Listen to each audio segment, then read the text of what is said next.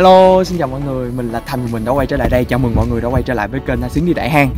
Hôm nay thì nhờ sự giới thiệu và tài trợ của Trung tâm Văn hóa Hàn Quốc tại Việt Nam Mà mình hiện đang có mặt tại Pyeongchang như mọi người thấy. Ở đây rất là lạnh. Thì à, Pyeongchang là nơi đã diễn ra Olympic 2018 là Olympic mùa đông. Ở đây đang diễn ra một cái cúp gọi là Korea Cup. Đi theo mình nha. Hai môn thi đấu là môn bobsleigh và môn skeleton thì chắc là mọi người bắt đầu thắc mắc là, ủa thì mình tới đây làm chi? Thì có một điều rất là đặc biệt, đó chính là ở cái lần Korea Cup lần này thì có sự tham gia của đội tuyển Việt Nam và vận động viên Việt Nam. Thì chắc là nhiều bạn cũng sẽ bắt đầu thắc mắc tiếp, ủa, Việt Nam là một nước nhiệt đới mà cũng có thể thi môn thể thao mùa đông sao?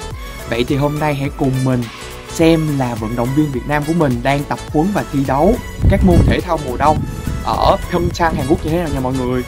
Let's go và video này thì nằm trong chuyên mục KCC kết nối của Trung tâm Văn hóa Hàn Quốc tại Việt Nam. Chuyên mục này gồm những video quay ở cả Hàn Quốc và Việt Nam, xoay quanh những nhân vật và những sự kiện đang đóng vai trò kết nối mối quan hệ giữa Hàn Quốc và Việt Nam. Bây giờ thì không nói nhiều nữa, tụi mình sẽ cùng đi tham quan Pyeongchang và cùng gặp những vận động viên của Việt Nam mình nha mọi người. Mọi người biết bình thường mấy cái cuộc thi với lại mấy cái lễ trao giải người ta hay có cái thảm đỏ mọi người. Thì ở đây là có thảm băng. Thì tôi thì muốn nhảy vô để tôi chụp hình với thảm băng nhưng mà tôi sợ té cho nên là phải nhờ huấn luyện viên hướng dẫn mới dám vô chụp hình 이번 코리아컵 3차전은 네. 어, 국가대표 선발전도 겸해서 같이 이루어지고 있거든요.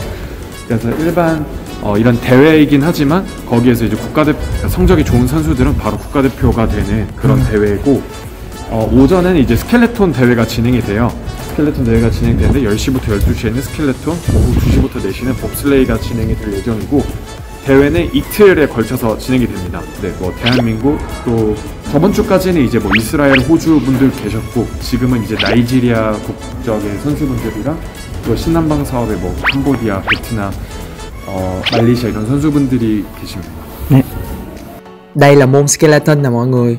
Nếu mà dịch ra tiếng Việt cho dễ hiểu thì skeleton là ván trượt lòng máng, còn bobsleigh là xe trượt lòng máng. Và nếu như ở skeleton vận động viên thi cá nhân thì ở bobsleigh thi đồng đội.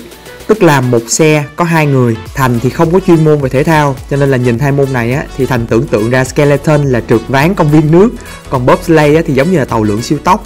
Nhìn chung á là cả hai đều có tốc độ rất là cao cho nên khả năng tai nạn và chấn thương cũng rất là lớn.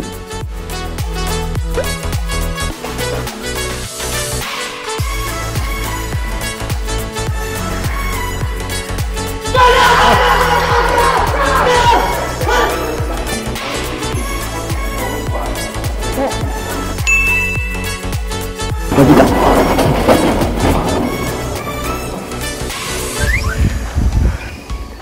Vận động viên đầu tiên mình được tiếp xúc là Khánh. Khánh là em út của đội tuyển, cũng là tuyển thủ duy nhất chơi môn skeleton. Em Khánh có xuất thân là vận động viên điền kinh và chỉ mới tập môn này được có 6 tháng thôi. Cái này là bữa ăn đầu tiên ở Pyeongchang cùng với lại vận động viên tuyển Việt Nam.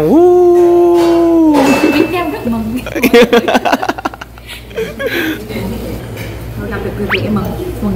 man luôn dạ yeah. ủa từ hồi qua đây ít người Việt lắm đúng không dạ nói chung em gặp được đúng duy nhất một người Việt duy nhất ở lúc mà em chạy thôi á mừng Ủa mà qua bên này á rồi mấy bạn bè người Hàn rồi mấy vận động viên, huấn luyện viên đồ có đối xử tốt với mình không? Dễ thương á Dễ thương quá hả?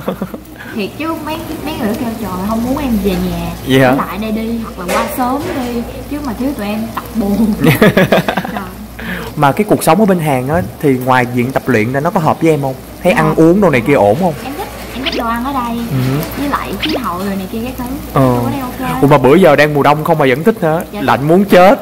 Mới đầu em qua đây là em bị sốc vậy luôn. Vậy hả? Lạnh chịu không nổi nhưng mà bây giờ tụi em quen dần rồi. Ừ. em chỉ sợ về Việt Nam em bị sốc ngược lại.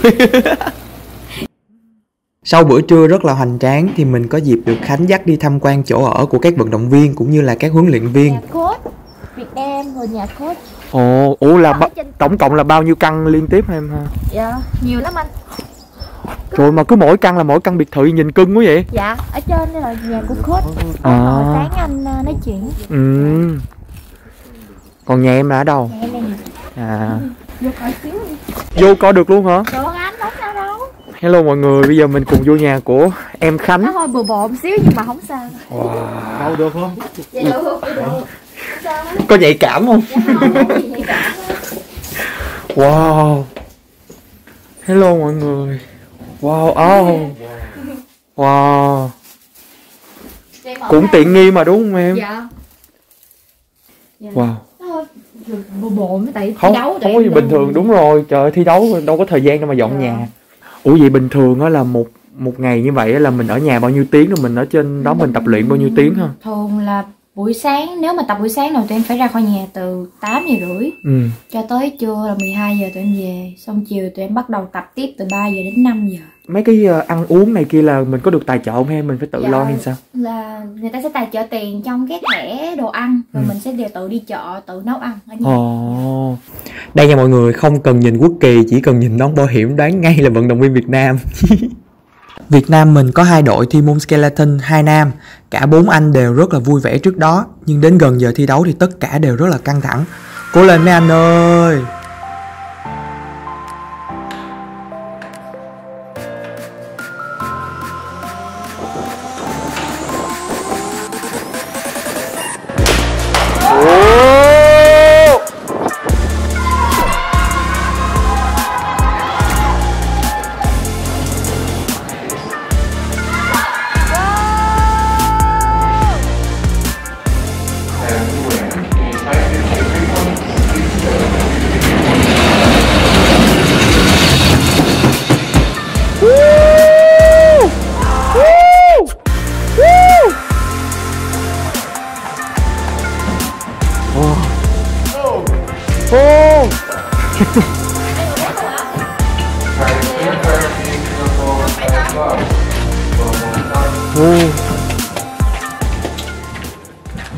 Mình ở đây tập luyện đến nay là cũng gần nửa năm rồi. Thì không biết là có cái khó khăn hay là cái thuận lợi gì khi mà qua qua đây cái cảm giác của mình thấy như sao? Lúc đầu thì khó khăn là ở cái thời tiết lạnh. Dạ. Rồi à, mình tập ở đây thì nó cũng thời gian ban đầu thì mình chưa quen được nhịp độ của ờ, của Hàn Quốc của mùa đông Hàn Quốc. Hàn Quốc mùa đông Hàn Quốc với lại cái, cái, cái, cái nhịp độ tập luyện thì cũng rất là ngọt dạ. Mới qua là rất là nhiều người bị chuột rút. Ừ chuột Dạ. rút rồi ói tùm lum. Dạ. Ờ, sốc nhiệt ừ. sốc sốc sốc. Em thấy mấy vận động viên Hàn Quốc á thì dù gì thì họ cũng là nước mà có khí hậu lạnh. Thì so với lại mình so với họ thì ừm, mình có những cái um, bất lợi gì khi mà mình chơi những cái môn này không? theo anh nghĩ á mình không có có bất lợi gì. Bởi vì cái môn này không phải là mình à, luôn luôn phải ở cái khu lạnh. Phần đông của vận động viên của bất cứ nước nào cũng vậy. Tới mùa hè thì họ cũng về nhà họ tập ở ở xứ nóng khoảng tháng 11 á lúc đó thời tiết bắt đầu lạnh trường đua nó sẽ có có có băng tự nhiên cái máy để làm băng á Ừ. nó sẽ không cần phải hoạt động mạnh hơn để làm ra băng Tức là chỉ khác nhau về điều kiện bên ngoài thôi chứ còn Đúng. thể lực mọi thứ là mình vẫn như như họ thôi đúng không? mình mình cố gắng thì mình cũng được như họ thôi Dạ vâng. à, Với lại thêm biết là đội tuyển của mình là đầu tiên ở Việt Nam mà thi cái môn uh, bobsleigh với lại skeleton đúng không anh? chính xác năm sáu năm trước là anh anh có cái nguyện vọng là thành lập liên đoàn cho nước Việt Nam mình. Dạ. thì anh đã bắt đầu tham gia cái môn skeleton. Để bởi vì lúc đó có một mình anh thôi. Đến khi cái điều kiện nó đến với mình thì chương trình ờ, bên Hàn này tài trợ ờ, tất cả những nước Đông Nam Á của mình. Dạ vâng. để có cơ hội tham gia vào cái môn bobsleigh và skeleton. Như vậy thì mình là một đội cũng mới như vậy, đa phần các anh chị đều là mới vào cái môn này. Vậy thì ờ, cá nhân anh và đội có tham vọng gì không? Tại vì theo em biết là 2022 là có Olympic ở Bắc Kinh. cái ước mơ của anh là đầu tiên là thành lập được liên đoàn cho Việt Nam mình đó là cái Mong muốn số mong 1 muốn số 1 của anh Ừ. và những nếu mà đội mình à, có khả năng à, mà đi được được lọt vào à, thi Olympic. thi Olympic là đó là kêu bằng là bonus thôi Dạ. Nhưng mà thêm á Ừ. chứ cái nguyện vọng của anh là đã đã đã hoàn thành. Có cơ hội có cơ hội rất rất cao. Anh thấy được những cái à, Tiềm năng. cái cái tiềm năng của những vận động viên mình. Dạ. À, vì anh chọn họ từ ban đầu là anh anh nhắm được những cái gì anh anh anh anh nghĩ là sẽ giúp cho cái môn thể thao này. Là anh chọn từ ban đầu.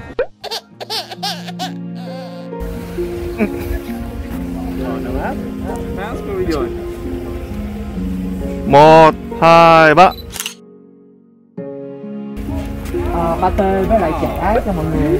Đây của anh cảm ơn cảm ơn cảm ơn tại vì á em biết là ở trên thăng quân thì không có không có đồ ừ, đúng rồi đúng rồi. Cảm ơn rất nhiều cảm ơn. À, Hamsamite đội trưởng ờ, tụi em năm nay mới 19 tuổi à.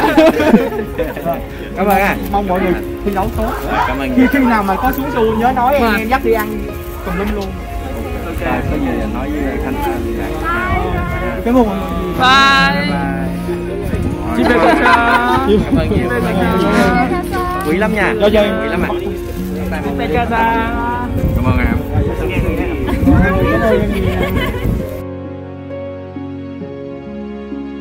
Dạ lấy. Ba tê ba tê. Này lấy gói cho em thêm một một gói khô gà đi. Rồi. Rồi. Rồi cảm ơn chị yeah. ok. Anh ngon đi. Rồi. Chúc mấy chú ờ, thi đấu tốt luyện tập tốt. À, để mai mốt. Gọi là sao? À, về Việt Nam thi đấu Olympic mùa đông cho đội tuyển Việt Nam thật là thành công nè. Đó, hy vọng là sẽ gặp được các chú ở Seoul và ở tại Bình. Dạ rồi bye. Bye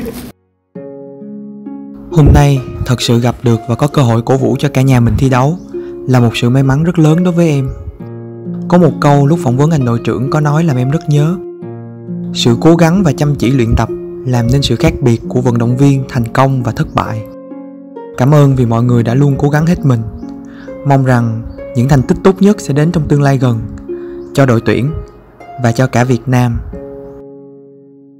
Thì mong là mọi người đã enjoy cái video này và biết được cái cuộc sống của các vận động viên Việt Nam đang được huấn luyện và thi đấu tại Hàn Quốc. Cảm ơn Trung tâm Văn hóa Hàn Quốc tại Việt Nam đã tài trợ và đã giới thiệu để mình có thể đến đây để có thể quay những cái cảnh quay chân thực nhất cho mọi người. Mong là mọi người sẽ vẫn tiếp tục đón chờ những video tiếp theo trong series KCC kết nối. Ok, bye bye.